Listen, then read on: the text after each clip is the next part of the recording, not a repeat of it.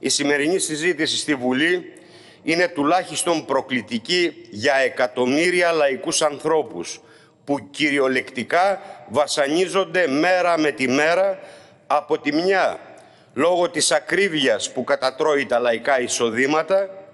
και μην νομίζετε ότι με μια μείωση του ένφια που ανακοίνωσε σήμερα ο Πρωθυπουργός μπορεί να αναπληρώσει τις τεράστιες αυξήσεις του ρεύματος, τις μεγάλες ανατιμήσεις σε προϊόντα λαϊκής κατανάλωσης. Εμείς επιμένουμε να στηρίζουμε το λαϊκό αίτημα για συνολική κατάργηση του ένφια, αυτού του άδικου φόρου, σε αντίθεση με όλους τους άλλους που το εγκατέλειψαν.